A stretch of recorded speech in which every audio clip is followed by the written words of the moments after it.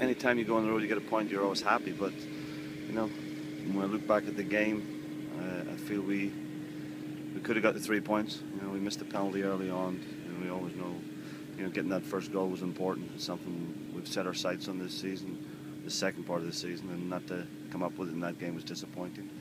Uh, disappointed the goal we gave up as always, but a lot of character and fight to come back, score the goal, and then if there's any team that deserved to win it or looked like they were going to win it, it was going to be us. But uh, it wasn't to be. But we'll, take the point and move on. You know, I stayed up top because Austin da Luz was playing out wide, and he played a good ball on the tee.